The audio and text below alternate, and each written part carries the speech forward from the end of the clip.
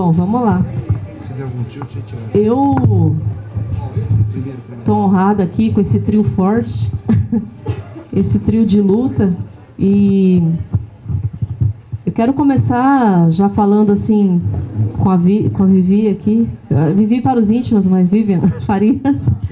E queria que a Vi falasse um pouco. Vejo que ela fica entre Brasília, São Paulo, Rio, Pernambuco, Recife, Minas Gerais, Porto Alegre, Rio Grande do Sul, Santa Catarina e Blá, com a nossa presidenta ou não, fazendo a luta, né, representando as mulheres na Executiva Nacional do PT.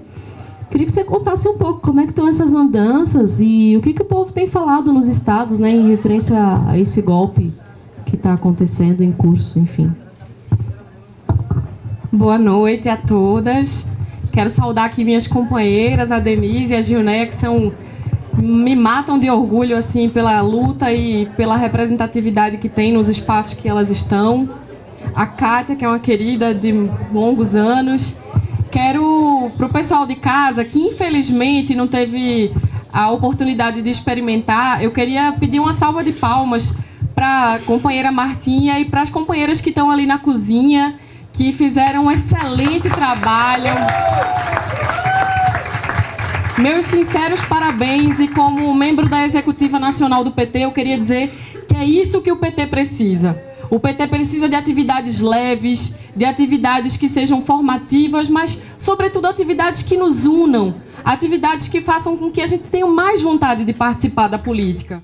Principalmente no nosso país, onde a gente tem uma representação de mulheres menor do que países como Afeganistão, Cazaquistão. Nós precisamos trazer as mulheres para a política. E parabéns, Martinha, parabéns à Secretaria Estadual de Mulheres que é isso que o PT precisa e é assim que a gente vai avançar. Eu tenho tido a oportunidade de acompanhar muitas agendas da presidenta Dilma. É, a, a, agenda de hoje em João Pessoa foi maravilhosa. Amanhã ela vai estar recebendo o título de soteropolitana em Salvador. O Pelourinho, a Batucada, a Negritude, as mulheres estão todas organizadas para receber a presidenta. E sexta-feira ela vai estar na minha terra, no Recife, também vai ser ovacionada na defesa da democracia. É muito importante, é, a gente tem acompanhado de perto e a gente tem visto o quanto a presidenta Dilma ela não tem apego ao cargo. A gente estava comentando aqui no começo. Às vezes, a política ela faz com que o cargo se sobreponha à função social que você exerce. E a presidenta Dilma, pela trajetória que ela tem, pela história que ela tem, a contribuição que ela tem, sobretudo para a democracia no Brasil, ela tem nos representado demais. Ela tem representado a força da mulher brasileira. No, no dia a dia, a gente escuta, Kátia, pessoas que não são filiadas ao PT. Pessoas que não têm um projeto ideológico. Um dia desse eu estava no, no, no aeroporto, chegou um rapaz todo entroncado, eu estava conversando com uma companheira nossa, e ele falou, oh, você é do PT? Aí eu falei, sou, sou dirigente nacional do PT. Ele falou assim, olhe, pois você, eu já fiquei, né, tipo, lá vem chumbo, já fiquei todo, porque pernambucano é bom de briga, né, pernambucana, então, a gente é doidinho para entrar na briga. E quando ele falou, olhe, vocês têm que entender que a luta da Dilma é a luta pelo Brasil que a luta pela Dilma, eu já votei no PT, já não votei no PT, não sou petista, mas a importância que ela tem hoje é para a democracia brasileira. Se a gente observar, inclusive, a postura do STF, ela é a mesma em, em 45, em 64 e em 2016. Tem um, um, um grande jurista, grande para quem tem referência no campo da direita, não é meu caso, que ele falava que na farmacologia do Supremo não existe remédio para golpes. Isso quer dizer a mesma postura que eles tiveram quando sangraram as mãos com Olga Benário e seu filho. Foi esse mesmo Supremo que negou o asilo político a Olga Benário. Foi o mesmo Supremo que, que negou a, a, o retorno à democracia em 64, na, na ditadura cívico-militar. E é hoje o mesmo Supremo que ratifica e que cega os olhos da democracia nesse processo jurídico político que a gente está vivendo. Então, minha gente, o mais importante de tudo é a gente ter a consciência de que as opressões que a Dilma representa não é só a ela. Quando, quando a gente fala aqui, quantos outros políticos não fizeram crimes, não fizeram atrocidades, coisas que ela nunca o fez e nem por isso nunca ninguém questionou sua, sexual, sua sexualidade, nunca ninguém tratou de forma pejorativa. O que fazem com a presidenta Dilma é, sobretudo, porque ela é mulher. Quando o homem entra na política e aumenta o tom, ele é severo, ele é austero, é um cara bom, é um cara competente. Quando é uma mulher, os termos já são pejorativos, já é, não, fulana é meio mal amada, é meio amarga, é meio ríspida.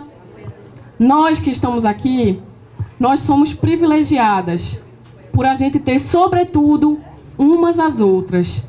Isso é o mais importante, que a gente tem que mudar a nossa cultura política dentro do PT, a gente tem que exercitar mais nossa sororidade e nada melhor do que fazê-lo na defesa da democracia, na defesa da presidenta Dilma. Muito bom, Vivi. Muito bom ouvir, né, que um alguém parou a Vivi no nos lugares aí falou, então, vocês aí tem que fazer a luta e tal, e que não era do PT. E a gente já fica assim, né, achando que o cara vai xingar a gente de petralha. E fora Dilma, e eu, eu particularmente, eu vivo isso todos os dias, né, porque lá nos Jornalistas Livres a gente recebe ameaça pelo inbox, no meu perfil pessoal, e a gente é taxado dessa forma, ainda mais sendo mulher, é pior ainda, né, a luta é muito mais intensa, e a gente... É, vive isso daí a todo minuto, sabe assim? Então, eu, na verdade, quando você começou a falar, eu falei, ih, lá vem mais um. Enfim. Bom, vou pedir então para a Junéia falar um pouquinho para a gente como é que estão as ações da CUT, na Secretaria de Formação de Mulheres, né? E, e quais são os avanços, como é que você quer retratar esse papel dentro dessa central tão importante para o Brasil de formação dos trabalhadores e trabalhadoras. Então é só é, fazendo, só corrigindo, a Secretaria Nacional da Mulher Trabalhadora. Nós temos também a Secretaria é, de Formação da CUT, que é outra companheira, companheira Rosane Bertotti, que está à frente é, da Secretaria. É, bom, hoje, é, hoje e amanhã, nós, nós, hoje tivemos um dia de formação, de informação e até um pouco de, de levantamento de qual é o quadro das mulheres da CUT no Brasil todo. É, nós reunimos hoje um coletivo nacional de mulheres da CUT, que são as mulheres dos 27 estados, as, as secretárias estaduais e a secretária dos ramos. Para além disso, é, nós fizemos um coletivo mais ampliado, trouxemos mais companheiras de, dos diversos ramos que tinham condições de estar com a gente nesse momento. E hoje a gente foi um dia muito intenso. Né? Começamos às 9h24 da manhã. Amanhã vamos começar às 8 e meia da manhã e fomos até quase é, 6 e meia da tarde. Discutindo várias questões, desde é, é, fazer uma radiografia, o que, o, do que, que significa né, esse golpe de Estado que nós estamos vivendo e o que isso pode atingir na vida das mulheres da classe trabalhadora. E aí os dados que a gente ouviu hoje, por exemplo, com relação à questão da previdência social, né, o que vai atingir diretamente a vida das mulheres rurais, né, a revisão é, da provável revisão da, da, da lei é, da, das empregadas domésticas, é, a revisão de todos os programas sociais da política de transferência de renda, enfim, tudo, tudo isso tem a ver com a vida da classe trabalhadora, em especial da maioria dela, como bem lembrou a Léo hoje de manhã, que teve com a gente, de 52% da classe trabalhadora é, brasileira é representado por mulheres. E é, nós hoje, então, fizemos esse dia todo de debate, de discussões. Amanhã, a ideia é de que nós façamos um desafio né, para as mulheres da CUT. Assim, o que, que nós vamos fazer esse ano a CUT? É, faz 30 anos do debate da política de gênero. A CUT foi criada em agosto de 83 em, no Congresso de 86, nós criamos a, a, a, Comissão sobre a Mulher Nacional da Trabalhadora da CUT. E de 86 até agora, conseguimos várias coisas de, de avanços né, no debate do empoderamento das mulheres, que culminou ano, primeiro com o debate da política de cotas, depois a CUT se posicionou contra a descriminalização do aborto, pelo direito ao nosso, nosso corpo. E saímos na luta é, também para debater a paridade. E o ano passado é, no Congresso de, de, de outubro do ano passado, nós conseguimos, de fato, implantar, implementar a paridade no interior da CUT. E o que, que nós estamos fazendo agora, nesse momento, com esse coletivo de hoje, que é um projeto para esse próximo mandato? Para além de você discutir é, que as mulheres da CUT, é, na, na, na, na, estrutura da CUT mesmo, da, CUT nacional das CUTs estaduais, é, nós temos a, a, paridade colocada, nós estamos discutindo também a possibilidade de se empoderar mais essa, essa paridade. Né? E aí a gente tem como exemplo né, Dilma Rousseff. Né? A gente nunca vamos esquecer, Casa de Portugal, em 2010, quando ela disse pra gente que uma menininha, aquela história da menininha que perguntou se mulher podia ser presidente. E ela disse sim, mulher pode. Então, assim, acho que ela é o nosso maior exemplo né, de, de empoderamento. E quando é aquele 12 de maio que nós fomos lá, num ato de sororidade, estar com ela lá no Palácio do Planalto, a gente ficou com medo, né? As mulheres ficaram assim um, um pouco assustadas, mas a gente disse não. Nós vamos, a classe trabalhadora, todas as mulheres, nós vamos estar todos os dias nas ruas, e isso é prova, porque em todos os atos a gente tem estado desde aquele dia firmes, dizendo assim: fora Temer, fora Cunha, volta Dilma, e é isso que nós queremos. Então, assim, eu acho que a Dilma ela nos dá força. E outro dia também, quando eu a vi num vídeo que gravou, que ela gravou, ela estava bem. Eu achei que, é, é, sabe, todo esse processo que ela, que ela viveu, a mulher pega, parece uma coisa assim, meio como uma fênix, né? Ela se renova das cinzas. Então, assim, ela é uma esperança muito para nós, mulheres da classe trabalhadora, e eu digo, está à frente da Secretaria Nacional da Mulher Trabalhadora, nesse momento político que o país vive, é uma responsabilidade muito grande, mas eu digo para vocês aqui, eu não estou sozinha. Tem algumas companheiras que estão aqui, de vários estados, Santa Catarina, Piauí, é, Mato Grosso do Sul, que ela pediu para eu não esquecer, Goiás, né, as companheiras de São Paulo, as outras já estão cansadas foram descansar, mas assim, eu não me sinto sozinha, eu acho que a Dilma também não deve se sentir sozinha.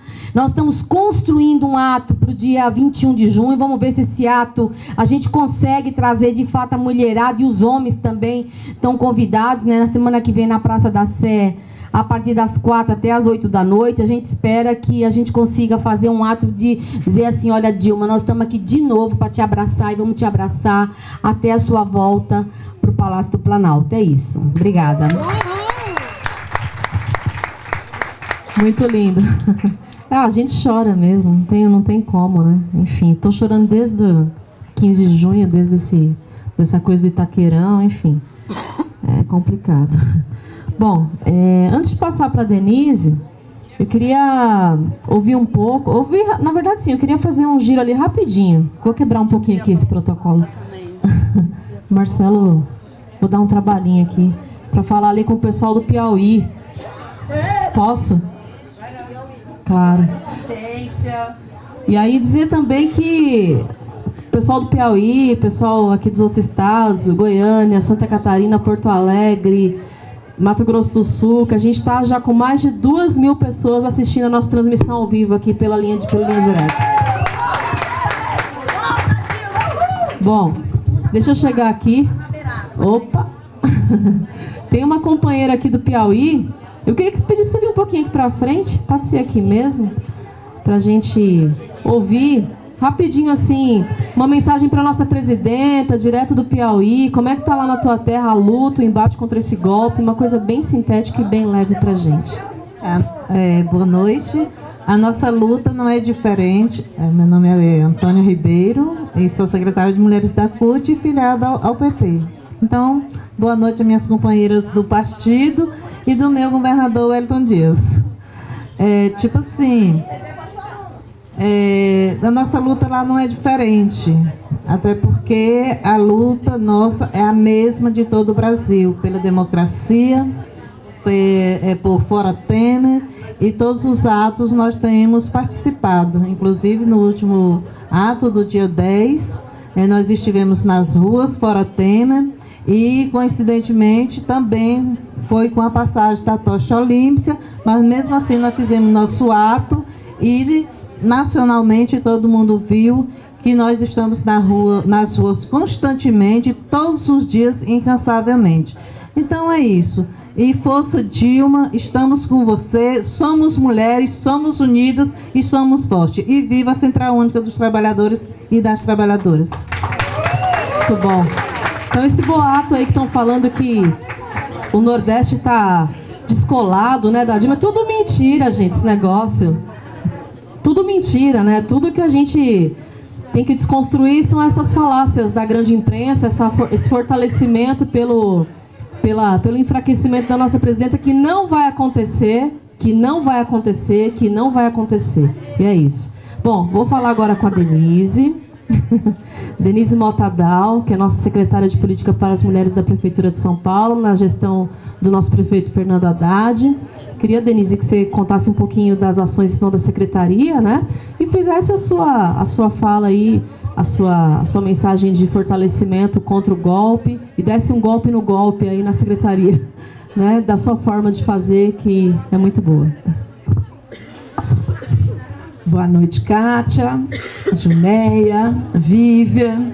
Queria saudar algumas companheiras que estão aqui presentes nesta noite fria com um debate quente. É, saudar a Laice Morieri, nossa secretária nacional de mulheres do Partido dos Trabalhadores. Saudar e parabenizar a Martinha, nossa secretária de mulheres do PT São Paulo, que teve a iniciativa de estruturar, de construir esse diálogo. Queria, pois é, saudar a Juliana Borges, secretária municipal de mulheres aqui do PT da cidade de São Paulo. Sandra Maria Mariano, representando a coordenação das mulheres negras. Saudar a Ana Firmino também, secretária de Mulheres da CUT São Paulo. Passou por aqui doutora Anistela Haddad, nossa eterna ministra Eleonora Menicucci, as companheiras dos demais estados que estão aqui, sindicalistas. Minha origem também é o sindicalismo, fui dirigente da CUT, sei como essa luta é, por melhores condições de trabalho, por igualdade no mundo do trabalho, é uma luta árdua, porém muito necessária.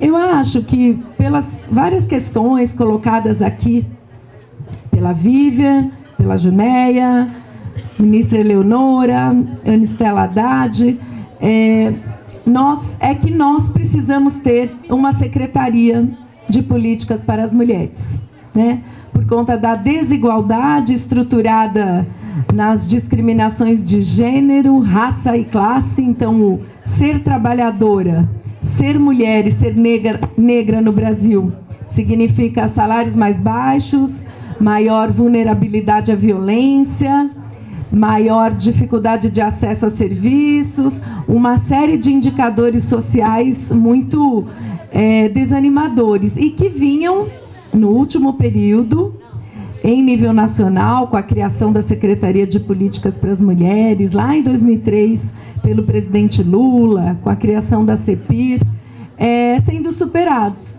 Então, junto com políticas universais de inclusão social e de maior igualdade, vinham sendo feitas políticas afirmativas, políticas de cotas nas universidades, o Plano Nacional de Políticas para as Mulheres, o Pacto Nacional de Enfrentamento à Violência contra a Mulher, diversas ações e projetos da SPM em parceria com os municípios e estados. Aqui em São Paulo, eu vou citar alguns fortalecendo o enfrentamento à discriminação contra a orientação sexual, a participação social das mulheres. Então, por isso, ainda é necessário termos políticas afirmativas e organismos de políticas para as mulheres. Aqui em São Paulo, nós temos trabalhado muito nesse sentido. A gestão do prefeito Fernando Haddad criou a Secretaria de Políticas para as Mulheres, que por si só já é uma política afirmativa. Reconhecer que é função do Estado, é função da gestão municipal. Assumir uma política que construa maior igualdade de gênero, de raça na cidade de São Paulo, acho que já é um passo importante. E aqui a gente tem algumas ações inéditas, por exemplo, a regulamentação, a aprovação na Câmara e a regulamentação por parte do prefeito Fernando Haddad da lei que garante que todos os conselhos gestores da cidade tenham que ter no mínimo 50% de mulheres. Então, o Conselho de Saúde, de Educação, de Transporte, de Habitação, além de nós estarmos em processo de construção e eleição do Conselho de Políticas para as Mulheres, ainda todos os conselhos gestores é, tem que ter no mínimo 50% de mulheres. Criamos os fóruns regionais de políticas para as mulheres, onde as mulheres nas 32 subprefeituras elegem as suas representantes. Isso teve apoio financeiro e técnico da extinta Secretaria de Políticas para as Mulheres, pelo menos extinta com seu formato original, o que muito nos preocupa. Estamos ampliando, estamos ampliando serviços, criamos um centro de referência da mulher em Capão Redondo, no extremo sul da cidade, outro em São Miguel Paulista, completando 10 serviços que a cidade oferece para as mulheres, tanto para o seu empoderamento econômico, estímulo à auto-organização, à participação social, como de enfrentamento à violência, atendimento social, psicológico, jurídico e muito nos preocupa a extinção do Ministério das Mulheres, Igualdade Racial e Direitos Humanos.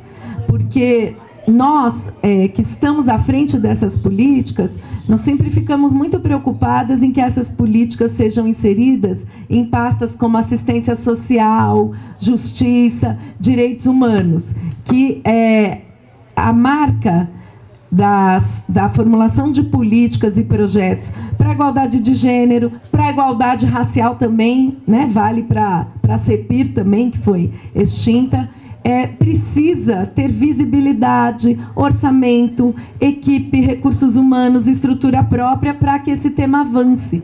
Né, para que ele não seja um tema diluído nas políticas universais, que também beneficiam as mulheres né? Minha Casa Minha Vida, ProUni, Pronatec, Bolsa Família. Mas se a gente não tem essas políticas com força, a gente não consegue, de fato, enfrentar esse tripé que gera a desigualdade, que é o gênero, raça e classe. Então, são essas políticas específicas que promovem a agilização e a superação da desigualdade. Né? A agilização da igualdade e a superação da desigualdade. O Partido dos Trabalhadores trabalha com uma política de cotas, agora alcançou cotas para as mulheres na direção e agora alcançou a paridade há muitos anos. A Central Única dos Trabalhadores, idem. Então, são essas políticas que promovem a igualdade. E agora, então, nós vemos não só é, a mudança nesse modelo, nessa estrutura é, na gestão pública em nível federal, como um ministério composto somente de homens, de homens brancos, sem nenhuma ministra, sem nenhum negro ou negra, sem nenhum jovem, certo? É, sendo estruturado, e junto com isso a extinção do ministério. Então, muito nos preocupa que hajam retrocessos. E não só retrocessos em projetos, do ponto de vista pragmático, que estão sendo desenvolvidos. Casa da Mulher Brasileira, é, capacitação em mulheres na economia solidária, parcerias que nós temos. É retrocesso do ponto de vista conceitual, de garantia dos direitos sexuais, reprodutivos, dos direitos das mulheres. Então, se antes nós tínhamos é, um Congresso, um parlamento conservador, mas um governo progressista que resistia a essa agenda, hoje nós temos o mesmo Congresso conservador e um governo que dialoga com essa pauta é, conservadora e que nos ameaça em relação a diversos retrocessos em direitos conquistados. Então, é, quem está à frente das políticas públicas hoje tem essa preocupação, mas acho que, como você disse, Kátia, as mulheres, os jovens estão nas ruas, estão protestando, estão dizendo que não aceitam o golpe, que querem a presidenta Dilma de volta, a presidenta que foi eleita, é, reconduzida ao seu cargo de fato e de direito. Muito bom. Bom, só para falar novamente aqui sobre a nossa audiência, a gente está com mais de duas mil pessoas assistindo a nossa transmissão ao vivo pelo portal Linha Direta, pela Fundação Perseu Abramo e no Facebook dos Jornalistas Livres, vocês sabem, a gente está transmitindo lá, né, retransmitindo, estamos com mais de 10 mil de alcance, tá? Bom, vamos lá. É, agora, assim, para finalizar o bloco, assim, bem rapidamente, eu queria uma saudação rápida, né, das minhas companheiras aqui de, de, de cadeiras, tal, e de vida, e de luta, e de tudo mais. Junéia tá aqui com um olhar, assim, ainda... Mas é, eu, eu, particularmente, eu me segurei um pouco, viu, Junéia, aqui do seu lado. Enfim. Mas queria que a gente deixasse uma mensagem de otimismo, né, para as companheiras que estão assistindo a gente pela internet. E especialmente para todo mundo que está aqui, Martinha, Ju, Juliana, Borges, tá Janaína, Cristina aqui de, de, de, nucleação, mobilização, movimentos populares, enfim, tantas outras companheiras que estão acompanhando com a gente aqui esse evento leve. E como a Vivian bem descreveu, que precisa ser feito em unidade, ser feito muitas vezes sempre. Primeiro, pedir desculpa, né, que eu esqueci de saudar minha secretária nacional de mulheres do PT, minha querida amiga e companheira Ju, secretária municipal, Janaína, tanta gente. Gente, vamos olhar uma para as outras, a gente aqui. Olha que coisa mais linda. Quanta diversidade a gente tem. A gente tem mulher negra, a gente tem lésbica, a gente tem nordestino, a gente tem jovem. E a gente tem, minha gente, que ter muita, mas muita tranquilidade. Tem muita gente que fala assim: ah, o PT errou, por isso que está acontecendo isso, por isso que está acontecendo aquilo. Não existe crime de responsabilidade contra a presidenta Dilma. Não existe. O golpe que a gente está vendo não são pelos nossos erros. O golpe que a gente está vendo é porque a gente devolveu à juventude a capacidade de sonhar. Eu vivi na minha juventude, que eu sou de classe média, no Nordeste, as pessoas batiam na porta da minha casa para pedir comida. Comida depois da hora do almoço. Hoje ninguém bate na porta de ninguém para pedir comida. Hoje a gente pede a senha do Wi-Fi. Hoje a gente pede dinheiro para comprar livro para ir para a universidade no ProUni e no ProJovem. Hoje a gente pede é dignidade. A gente deu isso às empregadas domésticas. A gente deu isso ao povo nordestino. A gente deu isso ao povo negro. E isso incomoda. Isso incomoda muito. Pois eles que se preparem, pois nós vamos continuar a incomodar. Para concluir, eu queria para, para, é, parafrasear Brecht. Porque Brecht ele tem um erro, né? Como um jovem militante de esquerda, ele não fala das mulheres, ele só fala dos homens que lutam. E quem segura a onda mesmo na, na vida e na luta é a gente e a gente sabe. Então, Brecht fala assim: tem homens que lutam um dia e são bons. Para mim, tem homens e mulheres que lutam vários dias e são muito bons. Tem homens e mulheres que disputam nas ruas, que arengam no WhatsApp, que faz picuinha com o vizinho na defesa da democracia. E são ótimos. Mas, gente, vamos bater no peito com o Brasil no coração e a estrela do PT no nosso peito e ter muito orgulho. Porque tem os imprescindíveis, que somos nós, que choramos, que sorrimos, que temos as mãos calejadas de bandeira. Tudo isso que a gente fez, às vezes a gente fala, ah, milhões de pessoas, milhões de pessoas, parece uma coisa muito distante. E não é. Esse projeto é coletivo. E a culpa, a culpa é do PT. A culpa é de cada uma da gente aqui. E eu tenho muita certeza que eu sozinha, eu luto bem. Mas que com vocês eu sou melhor. Muito obrigada. Permaneçamos na luta. Um forte abraço. Junéia. É, estava procurando aqui uma coisinha, já que é um momento leve. Esta, cadê? É uma coisa que eu gosto muito de fazer.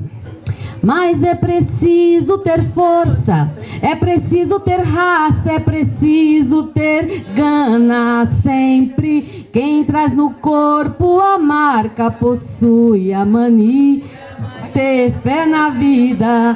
Are, are, are, are, are, are, are. Viva Dilma! É isso, gente. Obrigada. Muito bem, muito bem, Junéia.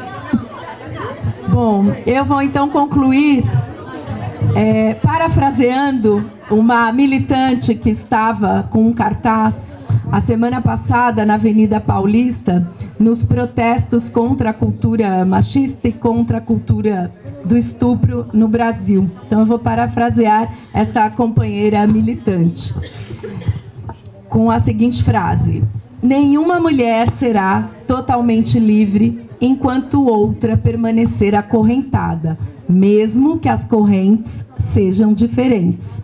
Volta, Dilma, já!